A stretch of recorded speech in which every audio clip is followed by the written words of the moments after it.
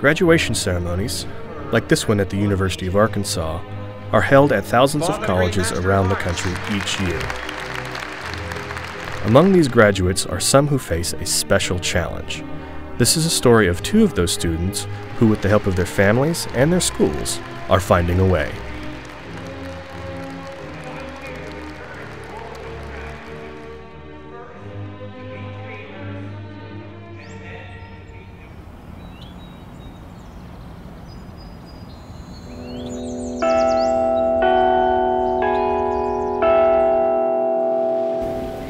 University of Arkansas is close to my home, Carrollton, Texas, and it's also far enough away to kind of have that college experience.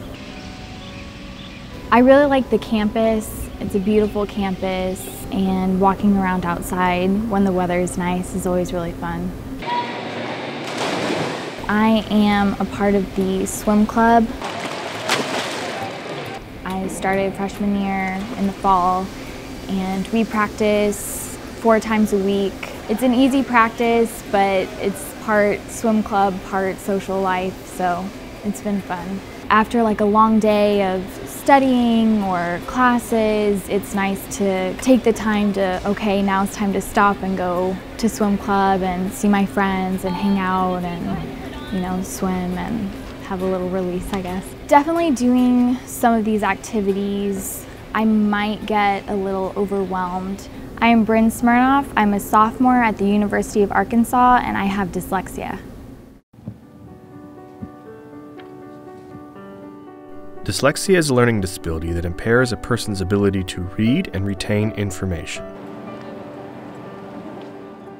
Due to this, many with dyslexia struggle in the academic environment. Individuals with dyslexia say it is often a challenge to sit through a lengthy lecture and remember and apply the information learned from the lecture. Michelle Alexander argues that this process happens in two ways. It is difficult to focus on the professor and take notes in class. Reading can be tricky as well. Many people with dyslexia transpose characters, add words to sentences, frequently lose their place, and face difficulty with retention of the material. For Bryn, studying can be a daily struggle. Reading is um, really hard for me. It takes me a very long time. And spelling is also really, really difficult for me.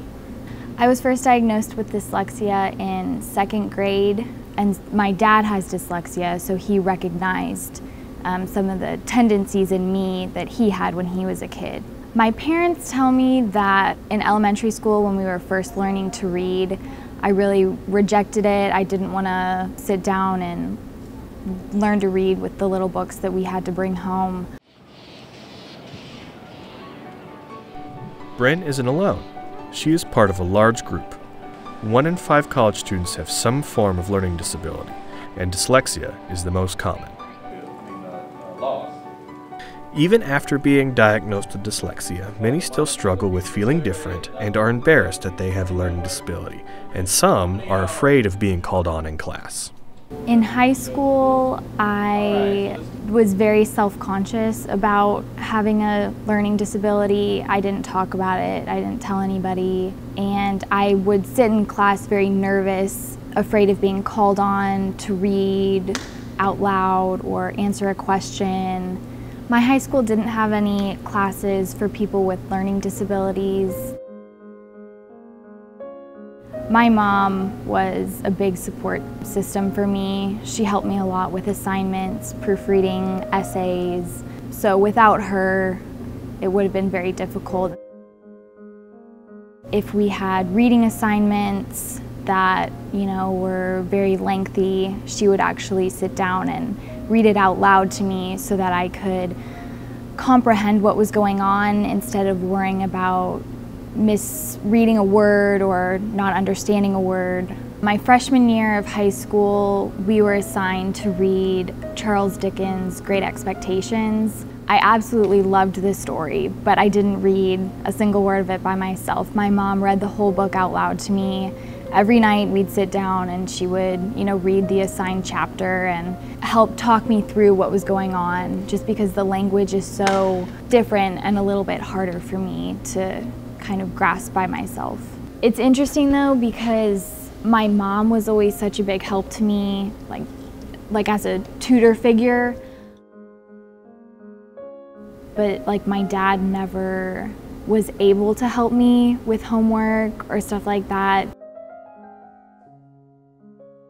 He's a neuropsychologist, so I saw how hard he had to work to get to where he is today, and that was always really inspiring to me. He, like always telling me like I could do it too, and you got to put down the work to get the results. Bryn says her father was her hero and continues to be inspired by his ability to rise above his dyslexia and become a doctor. This passion to overcome his learning disability drove Bryn to work hard in high school and make it to the University of Arkansas. I did fairly well in high school, and that was because I had my mom right there to help me read or check my assignments and essays. And I wanted to be able to do just as well or even better in college, but there was that fear that I wouldn't have my kind of built in tutor with me day to day. During her freshman orientation week, Bryn and her parents attended a fair of clubs and services on campus. In the back of the room, she found a booth for the Center for Educational Access. The Center for Educational Access, or the CEA, is an office that works with students with disabilities here at the University of Arkansas to provide services such as accommodations, and those services may include note taking services, test uh, accommodations. So we provide a myriad of services and programs for students with disabilities. The CEA at the University of Arkansas caters to students who have a wide spectrum of disabilities.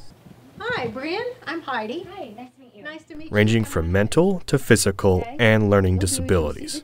the. The CEA requires documentation of a disability to access its services. Talk about alternative formats of your Once a student has submitted the paperwork, he or she meets with a staff member to figure out what types of accommodations are the most beneficial for the student. What you would want to do is set up. I tell students they have every right to flunk or pass. My job is to help them figure out how to tear down the barriers and get those accommodations in place to tear down the barriers. From there, they have the struggles that every other student has. One of the nice things is it's tech- Some of the accommodations the center provides are audio textbooks and note takers. Students often get more time to take tests outside of the classroom in an environment that is free from distractions. Students are also allowed to record lectures and use their computers in class. Hi, Bryn. I'm Chichi. I'm going to be meeting. This assistance is included in the campus student fee. There is no additional cost to students to use the CEA services. With students with learning disabilities, initially when they come in, we consider it to be an interactive process where we're working with them to understand their strengths in addition to their limitations. We look at accommodations and how those will best eliminate any barriers that they may have. So we definitely try to personalize it to the individual student I'll make contact with your professor about um, making the new announcement and, and um, identifying a note taker. Due to the heavy workload that is placed on students in the college environment, Bryn often takes longer to complete her assignments. This can affect a student's performance in college, but the CEA provides accommodations to level the playing field. This helps break down barriers of a learning disability and it provides students with the confidence to do well in class, become successful academically, and ultimately graduate. Through Bryn's meeting with the CEA staff member, she chose several accommodations that help her break down barriers that dyslexia presents. She uses lecture recordings and class note takers. This helps fill in the gaps that may have been missed during class. She also uses the CEA Testing Center. For students with dyslexia, taking a test in the classroom can be stressful, intimidating, and distracting. The Testing Center provides a quiet environment that frees the student from stress. The professors are really good about taking the accommodations into consideration and working with other students to make sure we are able to use the accommodations that we have.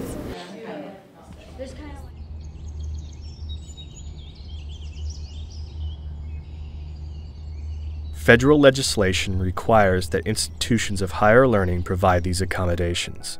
The Rehabilitation Act of 1973 and the Americans with Disabilities Act of 1990 require that higher education institutions do not discriminate on the basis of disability, including learning disabilities. All public colleges in the United States are required to have accommodations available for students with disabilities.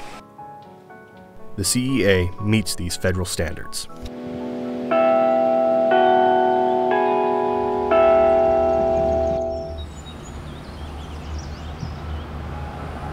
There are fee based programs at public and private colleges that go beyond the federal standards and provide more comprehensive programs. One such program exists at the University of the Ozarks in Clarksville, Arkansas, the Jones Learning Center.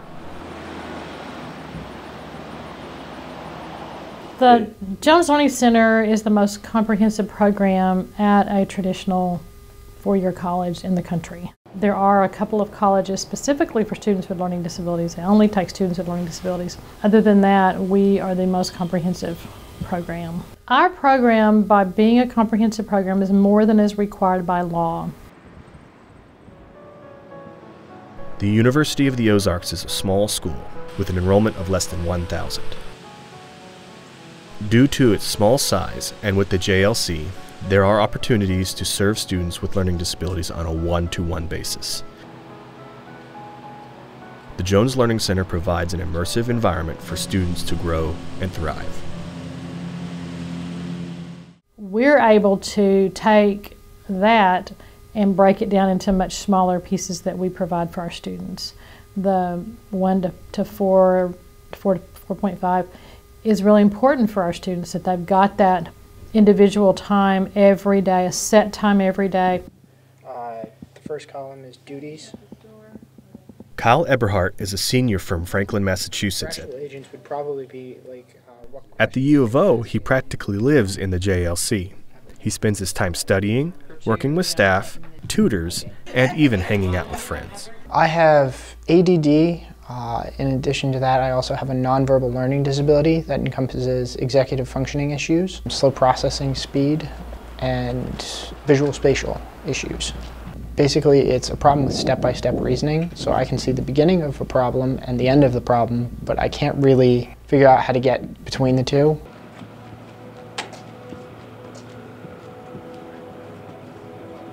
Kyle's learning disabilities affect him every day in his academics whether he's writing, learning math, or studying science.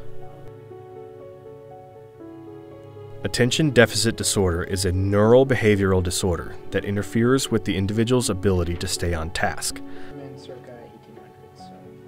Kyle says it's difficult for him to concentrate in class or on an assignment. It is also hard for him to stay focused on a project.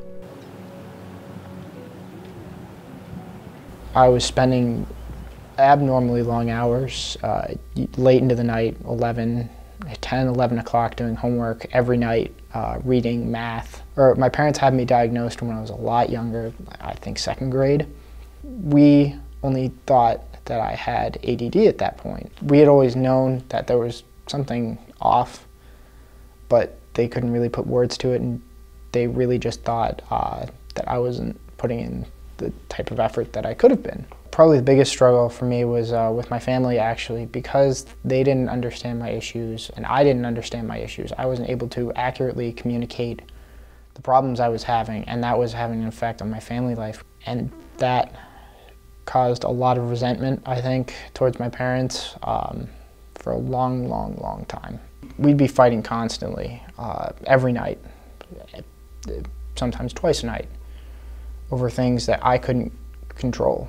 Um, and that would be on top of my homework. So it was an added stressor. Uh, and everything, everything kind of came to a head uh, my sophomore year because they, they thought because I was being so lazy that I wasn't necessarily, they they they offered multiple times, like you know, uh, college might not be. Uh, is, do you want to go to college? And I always said yes, because that that is exactly what I want to do. And they're like, you got to put in the effort. You got to be able to go to these colleges. You got you have to get these good grades, A's and B's, all all the way through. And I I said, I know, I'm trying, and they didn't necessarily understand that I actually was putting in the effort that they thought I wasn't. So there was a disconnect, I think. And it was only later, I think, the end of my sophomore year when we went to get me retested for the uh, pre-SATs to get extended time on them, that we discovered I had the executive functioning issues, that I had the visual spatial issues, that I had the slow processing speed. We had always known that there was something off, but they couldn't really put words to it. Because of this diagnosis, Kyle was able to get the accommodations he needed. This led to the fulfillment of his dream to go to college. He even visited nine colleges, all of which had good programs for students with learning disabilities. However, he finally decided on the U of O. I spent literally a month long trip with my uh, mom going to all these colleges, and the first place we stopped was here. And this, this school kind of connected with me, I think. So that question is basically the same thing that uh, Hauserman and Kyle had came up. One of the reasons he feels successful is because of his relationship with professors. Is that the threshold Having that respect from professor to student gives Kyle the confidence he needs to succeed. Has it invalidated legislation in One professor in particular, Dr. Stuart Dipple, developed a rapport with Kyle from the beginning. Talk to him and see what he thinks my best options are. Dr. Dipple is interesting in that he treats everybody the same. He develops a rapport with the students very early on, I think, and I think uh, being able to have that accountability for him to call you out and say, look, what are you doing? I, I think that's amazing. This respect and accountability led to a positive student professor relationship that allowed Kyle to flourish in his chosen major of political science. Well, Kyle is a better student now than he was when he first came, and I don't know what Kyle's learning disability is. He is one of those students from the Learning Center that if they didn't tell you that they had a learning disability, you wouldn't know it. I think, as with many people when he first came here, he didn't have the academic discipline uh, to, to make him sit down and, and, and, and do the work or put the time in to do the work that you have to do. Kyle's work is, uh, for the last year of my classes, has been consistently good. Uh, he comes to class prepared, more than able and willing to add to class discussion. So I would say he's become a very good student. Well, I think that the Learning Center does what they're supposed to do, and that is to get those students out into the mainstream of campus life.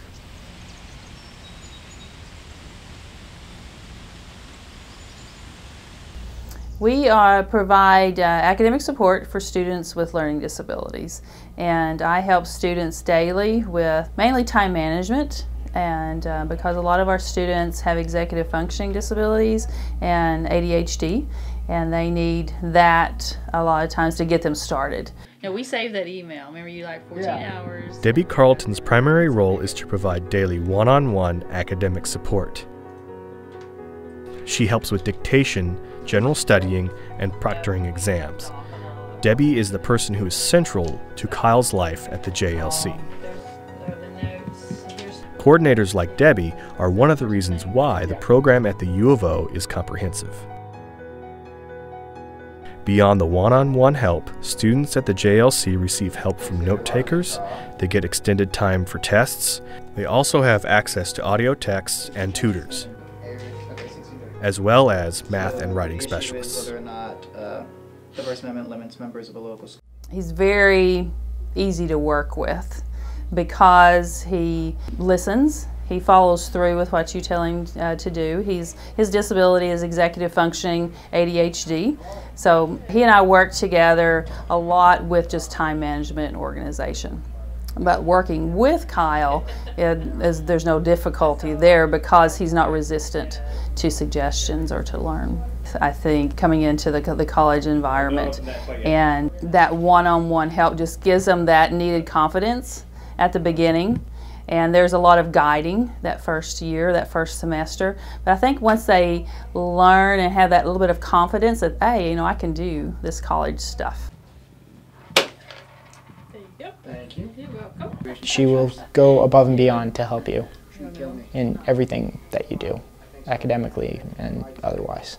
My coordinator helps me uh, keep on track, helps me keep organized, um, which certainly helps. Uh, over the past two years or so, I've kind of learned to start doing that on my own, but I still like to have her as a backup because I do miss things. I do think the one-on-one -on -one relationship with my coordinator is the reason for my success. My coordinators helped me immensely. I think I wouldn't be able to exceed, uh, succeed as well as I do without them. I really wouldn't. I always talk about the fact that when our students come in, I think of them as being surrounded by a circle of support. We're going to give them any support they might possibly need in the beginning. As they begin to become successful, we try to back off on that support a little bit, let them do more and more on their own. For some, that means that they transfer into the general program on campus. For some, that's when they graduate and they're able to go on without us, and that's our goal for them is to not need us anymore.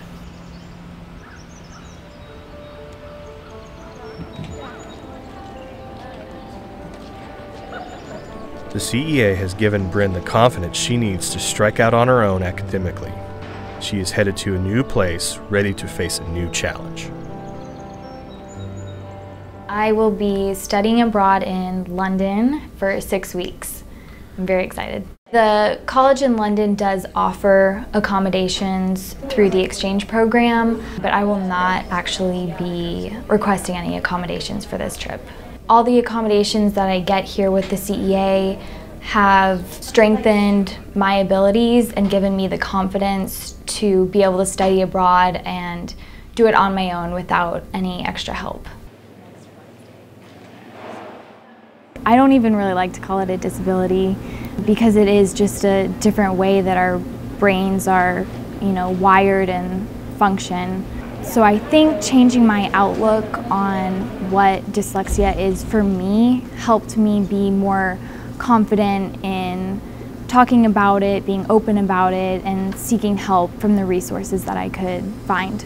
Taking on the mindset of dyslexia having strengths definitely gave me more confidence in my academic abilities and my ability to come to college.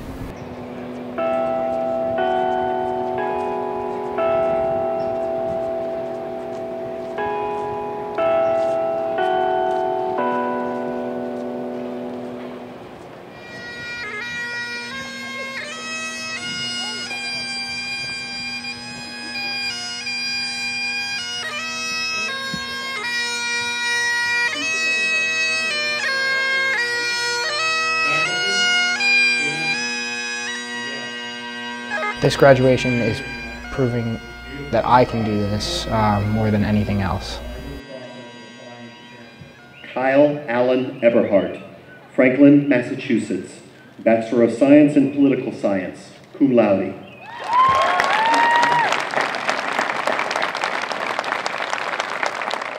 I think my parents did an, as, as good of a job as they possibly could with a student with so many learning issues that they didn't necessarily understand.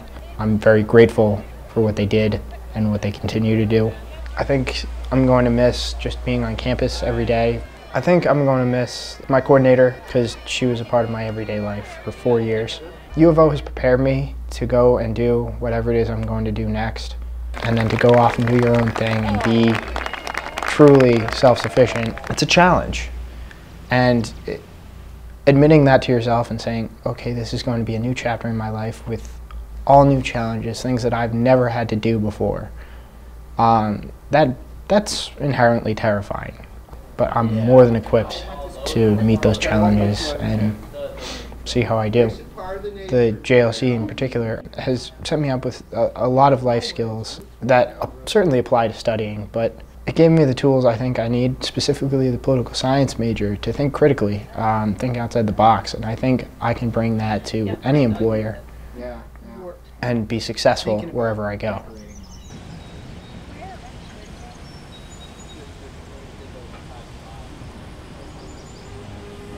If you have a learning disability, it doesn't matter where you go. There will always be services there to help you. And it doesn't have to be an organized service like the Jones Learning Center. It can be as little as finding a group of friends who can help support you, finding people who would be willing to tutor you, whether they be friends or otherwise. it, it is about finding a support network that will support you academically, socially, or otherwise. That is the key to success.